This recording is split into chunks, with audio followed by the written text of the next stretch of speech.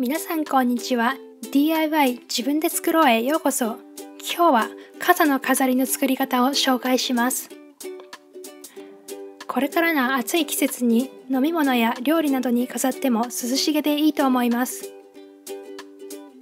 他にも花束やプランターの飾りにしてもいいかもしれません。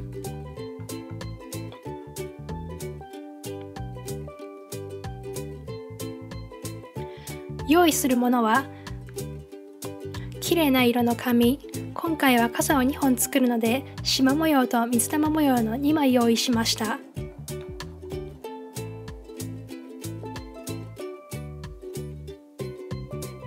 ビーズ。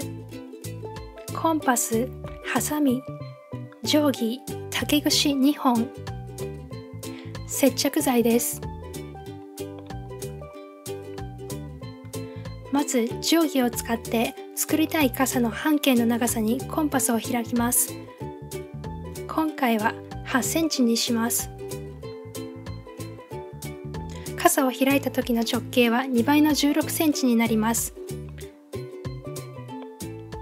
紙を裏返して白い方の面にコンパスで円形の線を引いていきます。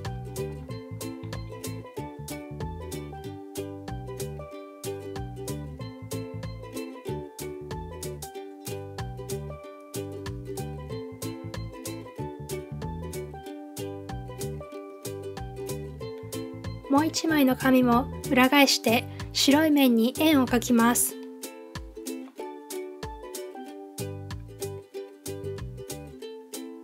円に沿ってハサミで切ります。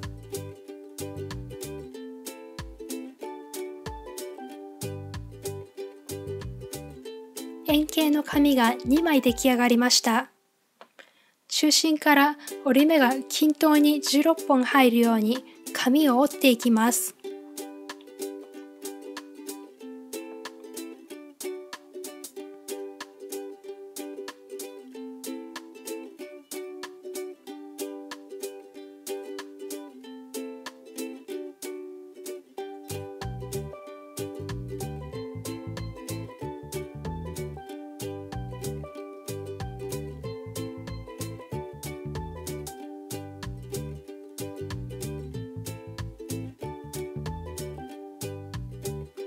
今度は16本の折り目が交互に山折りと谷折りになるように直していきます。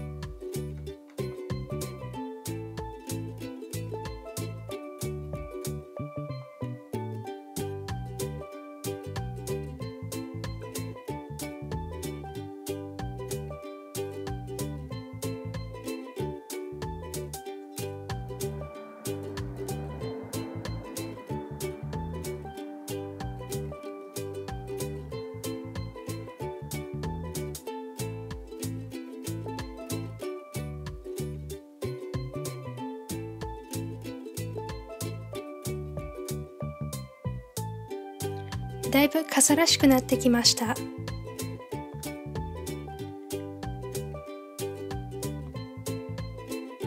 もう少しきれいにしましょう。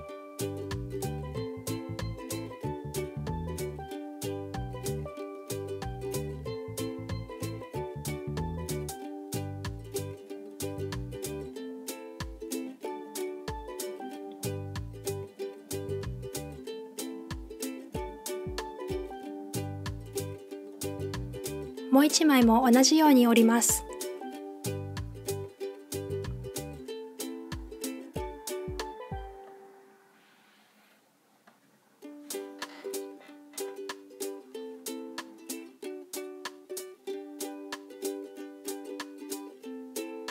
1枚目と同じように山折りと谷折りが交互に来るように直します。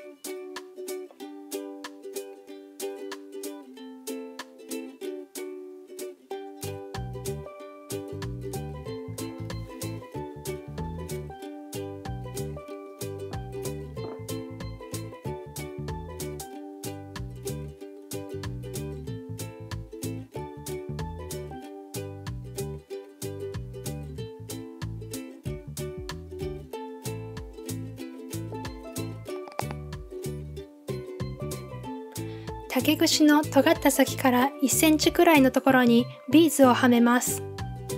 ビーズの穴が大きすぎて緩い場合は接着剤でくっつけるといいと思います。先ほど作った紙に竹串を突き刺します。竹串の尖った部分の先端に接着剤をつけてビーズをつけます。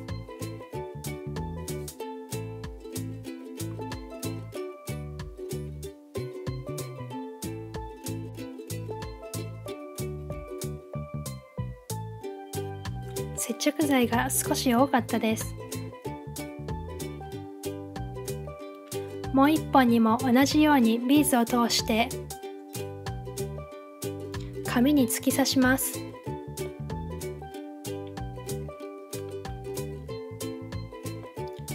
先端に接着剤を塗って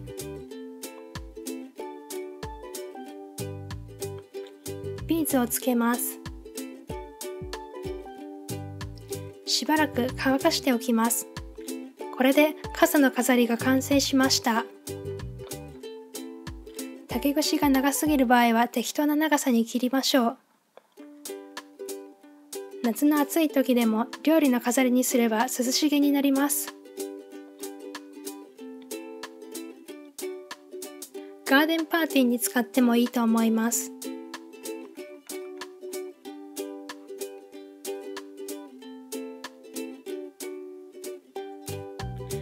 DIY 自分で作ろうを見てくれてありがとう。楽しんでもらえたら嬉しいです。